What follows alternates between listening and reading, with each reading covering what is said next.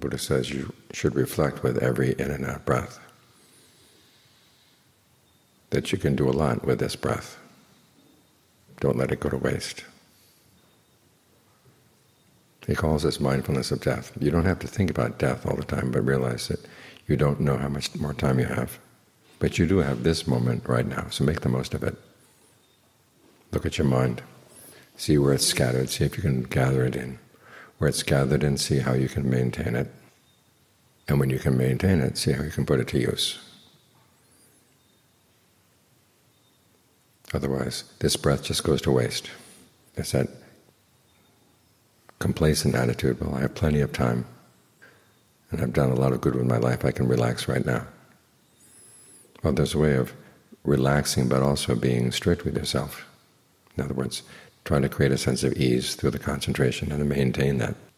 But the mindfulness has to be alert, because the mind is so quick to change its direction. As the Buddha said, there's nothing that you could compare with it. So you want to make sure that it stays on course. When you've done that much, okay, you've got a good start. And then you just keep going, going, going.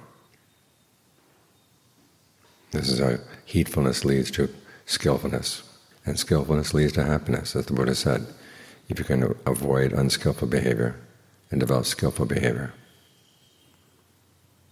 it leads to happiness. If it didn't lead to happiness, he wouldn't teach it. And if it was something that people couldn't do, he wouldn't teach it. So we can stick with skillful activities, only skillful activities, all the time. He says it is possible. So see what part of your mind says, well, I can do it only sometime, but not all the time. And that other time when you're not doing it, okay, what, what are you doing? And why? And why can't you develop skillfulness then? It's something that can be done all the time. Tell yourself that.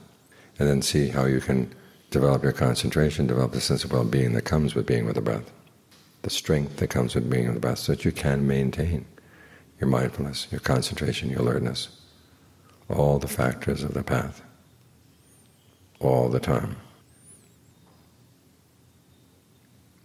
That's when you're being heedful.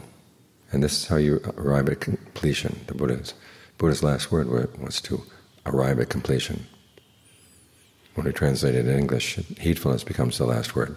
But in Pali, it's sampadetha. Heedfulness comes first, and then the completion comes later. And completion is something that we can attain. Don't think of it as an inhuman goal. If it were inhuman, the Buddha wouldn't have taught it. So this breath, this breath, this breath, be on top of this breath. And the practice will develop strength and solidity, and it becomes something you really can depend on. And you become a person you can depend on as well.